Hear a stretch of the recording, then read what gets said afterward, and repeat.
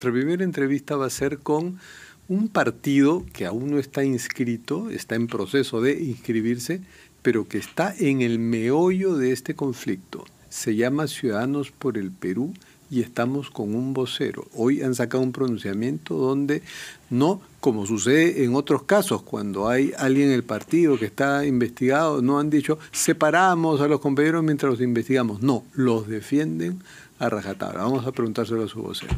¿Cómo está, señor Alberto Moreno? ¿Cómo está, don Fernando? Bueno, estará usted eh, eh, eh, choqueado porque tres dirigentes nacionales han sido, dos de ellos detenidos y uno allanado, ¿no? Víctor Torres, uno. Martín Carvajal ha sido allanado, su domicilio no ha sido detenido, y el personero legal que ha sido... Edwin Ugarte. Edwin Ugarte que él sí ha sido detenido. Así es. Y son dirigentes nacionales del partido. Es que el partido está imbricado en esta acusación fiscal de eh, no solo pues eh, armar eh, redes este, con los prefectos y subprefectos, sino de cobrarles cupos por darles trabajo. Bueno, el partido, en todo caso, no hay ningún vestigio, ninguna acusación de que ninguna prueba de que el partido esté inmerso. En todo caso, si hubiera algunos casos, digamos, este, colaterales. Personas del partido, pues ahí va. La Fiscalía tiene ya varios elementos de convicción como para haber eh, pedido la detención y un juez se las ha autorizado de dos dirigentes nacionales y el allanamiento de uno. Y hay varios eh, otros miembros del partido que están implicados en la tesis fiscal no hay ningún otro miembro del partido, por lo menos que nosotros conozcamos. ¿no? Nosotros hemos determinado ahí a tres miembros del partido claramente, ¿no? Y eso dice nuestro pronunciamiento. ¿Y, usted los define a rajatabla? Nosotros decimos de que... ¿No los separan mientras los investigan? Nosotros hemos dicho claramente que los tres miembros del partido que están investigados no se les ha probado absolutamente ningún indicio razonable en el proceso de investigación que nosotros hemos tenido acceso. ¿no? Pero, Entonces, pero algunos de ellos han sido proveedores del MIDIS antes de que la eh, presidenta Boluarte fuese presidenta, cuando era ministra. Ya ahí hay algo. Bueno, pero nosotros asumimos la, la responsabilidad en su comportamiento como dirigentes nacionales. Si ellos han incumplido o han tomado actitudes que no se ajustan al orden ético. Por ejemplo, yo he leído no página por página porque no he tenido tiempo, pero las casi 200 páginas de la resolución de ahora, ya los periodistas hemos, estamos aprendiendo ya con cursos acelerados de lectura veloz de documentos judiciales y por ejemplo me encontré con un, episodio en el que la señora Griselda Herrera, que usted hace poco lo entrevisté, me dijo que no es del, del partido. No está en el partido. Pero le entrega dos cajas de cartón, dos cajas de cartón con currículum vitae de candidatos a ser perfectos y subprefectos a Víctor Torres, que es el tesorero del partido y que ahora está detenido. Pero pero ¿cuál es la cuál es el cuál es, cuál es el problema? no, no, no, no, no, no, no he dicho cuál es el problema. ¿Cuál es el digamos, este, la prueba de que dos cajas hayan sido entregados a Víctor Torres. Nosotros, por ejemplo, desconocemos ese episodio. Foto, foto y video. No, si hay foto y video, debe ser antes del partido. No, no, no. Estoy este, insinuando que usted pide foto y video. No, no, no, no, pero por lo menos este, la veracidad de un, un encuentro donde se pueda eh, indicar de que se ha entregado esos, esos este, currículos o documentos para promover una determinada candidatura. La fiscalía saca eso de, un, testimonio. Pero en todo caso es un acto totalmente aislado a la construcción del partido político. ¿Cómo va a ser aislado? Porque, pero si, así porque si nosotros no hemos tomado, a, ver, nosotros no hemos tomado ningún eh, mecanismo de, de la dirigencia está afuera. Eh, las firmas de la región San Martín fueron dejadas fuera de contexto. ¿No? Eh, nosotros fueron dejadas fuera de contexto, pues ya está invalidadas, me imagino, eso me quiere decir. No, por nosotros, no por el Pero, por nosotros. Por ustedes, porque ustedes ahí sí detectaron que había problemas. Detectamos que era necesario eh, dejar las cosas en un orden mucho más transparente de la que podría estar eh, sucediendo detrás de nosotros. Ahora, eh, eh, noto que hay cierto sinceramiento este, en el partido cuando dice que se solidarizan con el compañero y amigo Nicanor Boluarte. Compañero es la manera en que se le llama a los, a los militantes. Sí, sí. Nosotros Entonces ya lo asumen prácticamente como militantes. si, bien, si bien no se afilió. Siempre nos hemos dicho compañeros, desde la época barrantista, de la época de izquierda socialista. Siempre nos hemos tratado así. Pero no, creo que Barrantes esté feliz con la situación de un, de, un partido armado de esta forma, ¿no? A ver, dígame usted, con toda transparencia, nosotros tenemos alguna situación de eh, dolo en el ejercicio y la construcción del partido. Hemos hecho los dirigentes o la eso es lo que dice la fiscalía. Los comités provinciales del partido están cometiendo delito. Eso es lo que, pero lo dice la fiscalía. Pero la fiscalía dice que, que miembros del algunos eh, subprefectos se habrían prestado para determinadas acciones y eso es un proceso de investigación que se tendrá que comprobar. Y que se les exigía, no solo se les cobraba cupos, sino que se les exigía que consigan firmas. hay testimonios agarradores. Yo, yo he visto el testimonio, porque eso sí hay video, está grabado por programas periodísticos, de Diego Moisés Saavedra, de la región San Martín, que ya no daba más y, dice, y cuenta, ¿no? Cómo le exigían. ¿cómo, ¿Cómo un prefecto regional, que es médico, pueda decir que no da más porque tenía mucha presión para ejercer un determinado... denuncia, pues. pues renunció. Eh, simplemente renunció. Eh, denunció. no, primero renunció. Denunció cuando lo renunciaron. ¿no? Denunció. Él, él ha sido miembro, él ha estado en la tarea que es un de construcción del partido. Un joven que dice que incluso han, estado incluso han estado, ah, no, no, no conozco esa parte del, del, de esto, pero ellos han estado construyendo el partido allá. Yo creo que más que eso es una cuestión de lucha de intereses, ¿no? de poder en la construcción del partido en la región.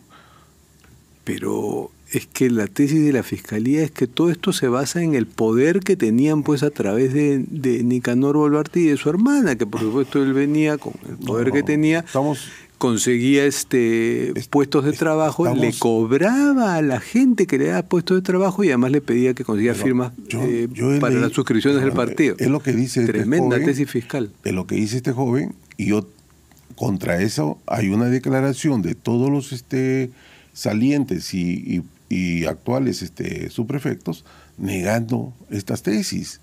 Entonces, sin embargo, el partido actuó con severidad. Hay, hay, varios casos. Es el señor Teodoro Berrú, que no sé si era militante del partido. No, pues, no, nunca ha sido Teodoro Berrú, es un brujo de, esquina, ¿no? De, de, barrio, ¿no? no yo no brujo de esquina. ¿no? Entonces, pero ese es su problema del señor Berrú. Yo no lo conozco. Son uno de los tantos testimonios que. No tengo conocimiento. ¿Quién es el señor Berrú? Ah, usted no lo conoce. No lo conozco. Entonces, nunca ¿por qué le, llama brujo al hombre? Porque el señor no dice que hace limpiezas de este, mesas este, espirituales tener algo de brujería. Bueno, necesitan brujería para salir de esto. No, yo creo que lo que necesitamos es la construcción y la defensa de la democracia.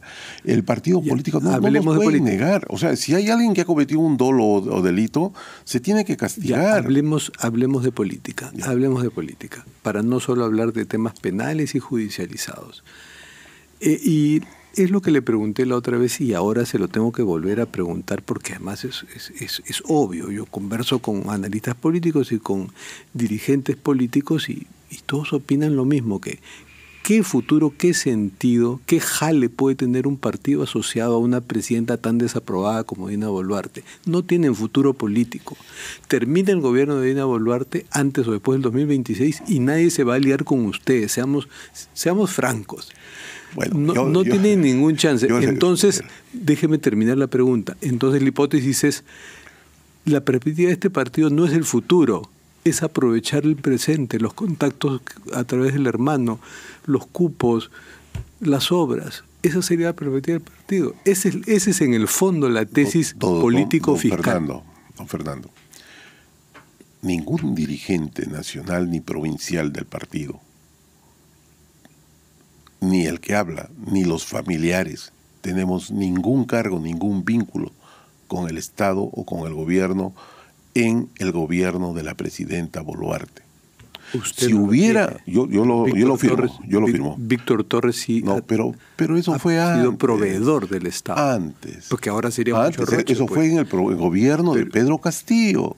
Fue un proveedor. En el gobierno de Pedro Castillo y de Dina Boluarte como ministra. Fue un proveedor de, del, qué ministerio? Del ministerio ¿De qué donde estaba la presidenta actual Dina pues, Boluarte, correcto. Ahí se armó la red. Pero, a ver, entonces usted me está implicando a mí y a muchos compañeros que formamos parte de una red que no existe. Usted solo he visto que está mencionado de una forma no, no penal, no penal, este, en el documento. Sabe que está mencionado en No sé, por ahí lo, debe citan. Debe ser. A todos los dirigentes nosotros encontramos. Pero lo citan ciertamente en, un episodio que no es. En, una, en la, si sales de, de la casa encuentras una camioneta eh, oscura, persiguiéndonos a los dirigentes. E, ese, ese eh, tipo de, persecución contra la clase política queremos en el Perú. O sea, queremos ah, eh, hacer... Los que, contra los que se pues, meten en problemas, porque... Pero los que se meten en problemas, los, no, los, no los que no se meten en problemas.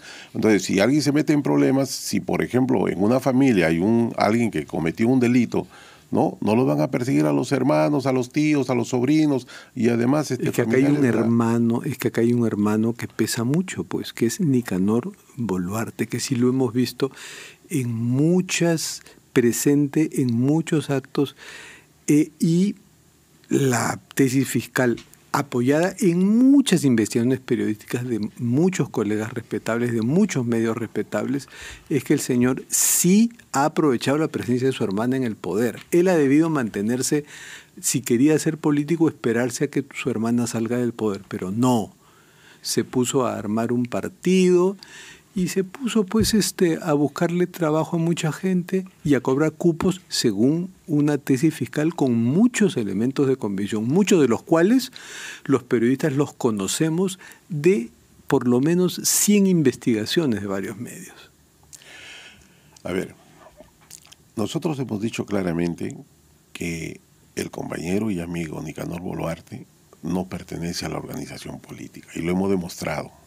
Pero hace un rato me está, me está diciendo que prácticamente sí lo es. Simplemente no está afiliado, pero lo siente en suyo. Le he dicho que sí Acá, eh, Nosotros nos punto solidarizamos. el comunicado, ratificamos. No, no. punto cuatro. Nos solidarizamos con el compañero y amigo. Compañero se le dice a los Porque es compañero, es compañero. Yo le digo compañero a mucha gente que, que viene del, dentro del... Son dirigentes sindicales, les digo compañeros, compañeros, compañeras, y eso no tiene absolutamente... Compañero se, le, se, le, dice al correligionario. Bueno, en la, en la tradición de la izquierda de donde usted viene se le dice al correligionario. Y, es, y somos correligionarios. No, nosotros no hemos dicho, no militamos en el partido, mismo partido, pero somos correligionarios de ideas. Siempre lo hemos dicho. Nunca lo hemos negado, este, don Fernando, siempre hemos sido transparentes. Ahora, si nosotros estuviéramos negando esto, eh, bueno, pues... Pero ¿por qué no dan un paso adelante este, a este comunicado y ya separan a algunos dirigentes? Porque ya las, es una evidencias son muy grandes. Esa es una respuesta de hoy día, ¿no? Estamos citando a, una, a, una, este, a un comité ejecutivo nacional ampliado para tomar decisiones sobre esta situación. Nosotros estamos muy preocupados porque esto nosotros lo vemos más como una persecución contra la libertad, de acuerdo al artículo 35 de la Constitución del Estado, que tenemos los peruanos de poder ejercitar nuestro derecho a formar un partido. Ese derecho lo tienen absolutamente abierto. Si alguien, si alguien infringe la norma, la ley... No a través de la, del sistema de prefecturas, pues. No, pues nadie se ha formado, nadie... Pero, pero es que hay muchos testimonios sobre eso. Es que no hay... A ver, los partidos se forman con firmas y comités. Y no hay un solo comité formado con prefectos o subprefectos. Y no hay un solo subprefecto que haya sido eh, denunciado por estar utilizando su cargo para recoger firmas. Entonces, si eso es así, ¿por qué perseguir esa hay compañeros denunciados por eso.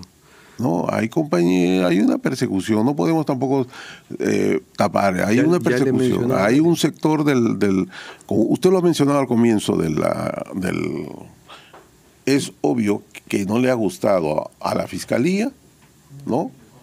que se le obstruya su... Y a ver, yo que parto se que, se, obstruya la, su, su proceso, su investigación. Porque yo es la primera vez que veo en un país como el, en, en nuestro país y en el mundo que los jefes policiales no quieran moverse de su cargo. ¿no? O sea, algo debe estar pasando. debe, ser, debe ser más rentable que el, que el sueldo. Pero moverlos cuando están investigando a la presidenta se presta para muchas suspicacias. pero bueno, sé que usted está apurado porque tiene que ir a otra, a otra entrevista. ¿no? Última pregunta. ¿Al amigo y compañero Nicanor Boluarte lo van a visitar ahora que está detenido? Sí. Y, de pronto podría eh, ser pasible de una prisión preventiva luego. Nosotros abrigamos de que la detención de los compañeros, específicamente de los tres compañeros nuestros y del amigo eh, Nicanor Boluarte, sea eh, lo más temporal del caso y puedan demostrar prontamente su inocencia frente a la investigación fiscal y a la investigación que tiene que ver con el Poder Judicial. Nosotros abrigamos mucha esperanza en que esto suceda, ¿no? Eh, estamos, el partido está totalmente abierto a colaborar con todas las actividades o gestiones que considere el Ministerio Público o el Poder Judicial para la investigación. Nosotros abrimos totalmente las puertas y desde acá anunciamos esto. Sin embargo, que cese la persecución contra los dirigentes del partido, que cese esta persecución de carros que nos persiguen por todo sitio en diferentes horas del día y de la noche.